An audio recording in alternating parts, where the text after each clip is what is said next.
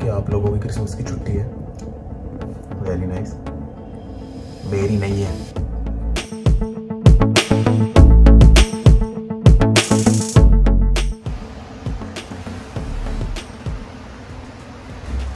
कोई भी नहीं आया है आज office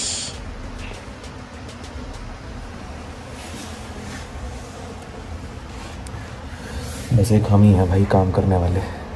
but you know what मेरे को इस बात का अफसोस नहीं होता। उसका रीज़न है।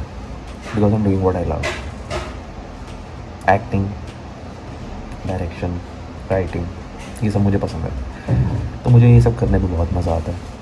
इसलिए आई हैव नो कंप्लेंट्स कि मैं क्रिसमस वाले दिन भी ऑफ़िस आया यूजुअली अगर मैं किसी एमएनसी में बैंक में या किसी भी और डिपार्टमेंट में जॉब कर रहा होता तो आज मेरी छुट्टी होती और मैं घर पे सो रहा होता। But here I am in the office alone oh by the way merry Christmas merry Christmas merry Christmas